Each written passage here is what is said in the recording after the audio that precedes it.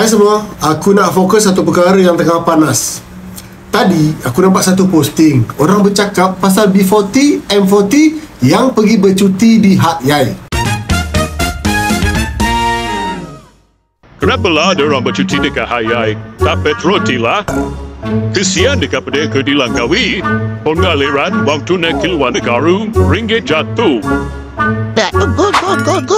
Pasti tahu beliau mencium di celau. Apa masalah lu? Ha? Akan tetapi, yang buat aku hairan, bila T20 dan orang politik pergi berjimba di Dubai, tak ada isu pula. Tak ada ke isu pengaliran wang tunai keluar?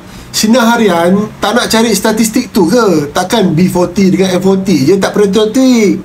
Ha, tengok ni. Dekat Dubai ni. Korang cuba bayangkan, Kos percutian dia Berapa puluh ribu Sinar harian Boleh tak cari statistik ni Dan satu lagi ha, Ni Bini Syamuddin pakai baju tebal-tebal Kat hayai ke? Takkanlah kan ha, Ni yang buat kita tertanya-tanya Muhyiddin ni pula Satu keluarga bercuti sambut Christmas dekat London Patriotik betul Abah, Abah tengah, Abah kat London. Korang tahu tak, Muhyiddin saya dekat London, bercuti, dua minggu. Korang tahu? Tahu tak? Korang tengah menderita, tak ada makan. Kesian. Ah, ah, Muhyiddin ada kat London dengan anak-anak beranak dia. Ha, ha, ha, dia bercuti, ya, bercuti. Dia la la la la la la la la la la la la. Korang? ha, tapi tak apalah. Nak buat macam mana? Janji yang atas-atas ni semua boleh pergi London. La la la la la. Rakyat tengah mampu ini apa semua pun pergi London. Sono kan. Ah, best. Ah. Saya bukan nak kata apalah. Tapi fikirlah sikit. Fikirlah rakyat. Ha? Hmm. Siapa yang boleh bercuti kat tepi pantai, Cameron Highland. Tak apa, pergi je. Yang mampu sini mampu.